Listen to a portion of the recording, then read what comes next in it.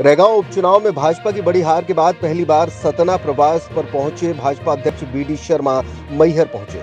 सबसे पहले मैहर पहुंचकर माँ शारदा के दरबार में मत्था टेका और आशीर्वाद लिया। उन्होंने कहा कि माँ से आशीर्वाद लेने आया हूँ कि देश और प्रदेश में खुशहाली रहे। पार्टी के कर्तव्यों का निर्वहन अच्छी तरह से कर सकूँ।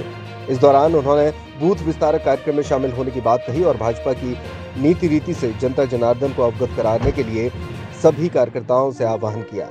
केपी यादव के पत्र को लेकर उन्होंने कहा कि पहले मैं केपी यादव से विस्तार पूर्वक चर्चा करूँगा, तभी कुछ कह पाऊँगा। माँ शारदा का आशीर्वाद लेने के लिए आया हूँ। आज वैसे मैं हमारी बूथ विस्तारक योजना है, जो संगठन काम के विस्तार और कार्य के सुदृढ़ीकरण के लिए पूरी भारतीय जनता पार्टी मध्य प्रदेश बूथों को सक्षम बनाने के अभियान में जुटी है। तो उसी निमित्त आज मैं भैया आया हूँ, लेकिन माँ का आशीर्वाद लेकर के कि हमारे लक्ष्य को पूरा करने के लिए, मध्य प्रदेश के सुख संपत्ति और वैभव के लिए, भारतीय जनता पार्टी के संगठन को और शक्ति और ताकत मिले, ऐसा माँ आशीर्वाद दे। परिवार पर और हम सब लोगों पर माँ का आशीर्वाद है और इस आशीर्वाद के साथ हम आगे बढ़ सकें, आशीर्वाद लेने के लिए आज।